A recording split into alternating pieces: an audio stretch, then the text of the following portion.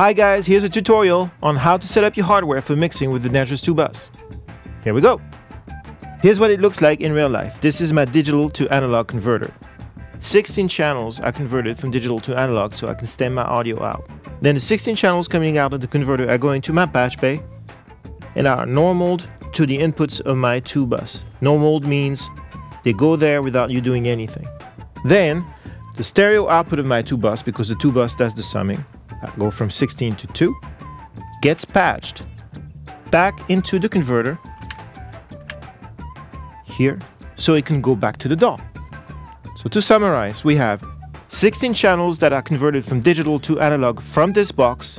Those 16 channels are fed through the patch bay into the 2 bus.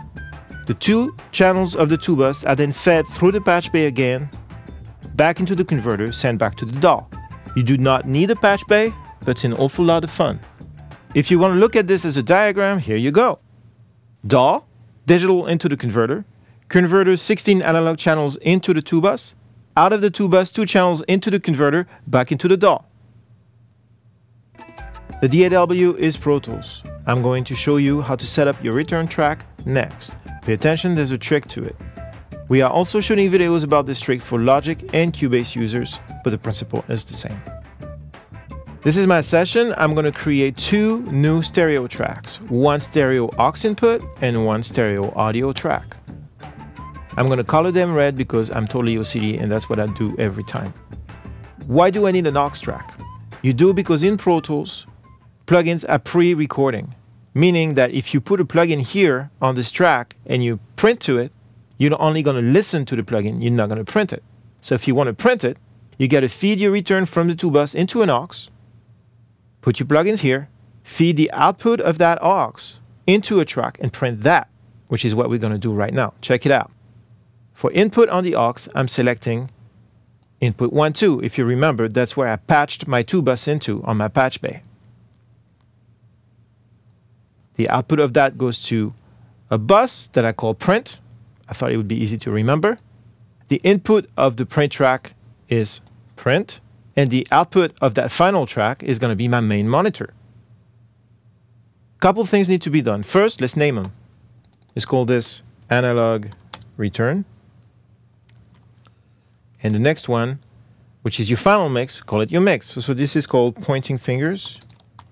Put your name on it. Be proud. Fab Mix 1.0. First of many, I'm sure. Then you have to solo safe these two tracks. What does that mean? It means that you have to command click on these two S's right here so that when you solo something in the session later, these tracks don't get muted. That will let you solo in your session and still listen to your final mix. Lastly, you need to understand what this button does.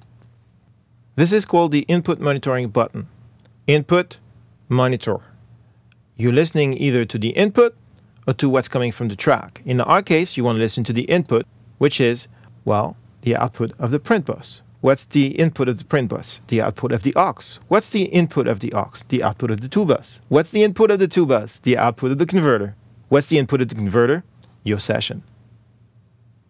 For those of you who don't have Pro Tools HD, and there's a lot of you, especially now with Pro Tools 9 and later, don't despair, you can do the same thing. Check it out. Same setup, aux track, print track, same routing, same spirit. The difference is you don't have the little I button to toggle the input monitoring. The way you do it is you set your print track in record and use Option K, key command, or that menu up there, that menu, to toggle between track and input monitoring. But since we're grown ups, we use the Option K key command. If you get confused as to which mode you're in, either track or input, easy. That square there, if it's green, you're on input. But we're not here just to listen to this stuff. We'd like to record it so we can play it back elsewhere for people like your mother, grandmother, sister, dog, girlfriend. So, click the record button. Now, if you press record, the whole mess mix will get recorded onto this track. Once you've recorded something, when you remove the input monitoring button, you are now listening to what you just recorded. So you can now compare what you recorded and what you're doing right now. There are a lot of practical applications to this. Side note, the Dangerous 2 bus has two sets of outputs. One recording set, the one that I patched back into my converter, and then a monitoring set, That one I have always hard patched to my monitor section. Why do I do that? Because now I can listen to either straight output of my two bus or what my digitization and plugins are doing to the sound. It's nice to know. You should be good to go. Have fun mixing with your Dangerous 2 bus. Ciao!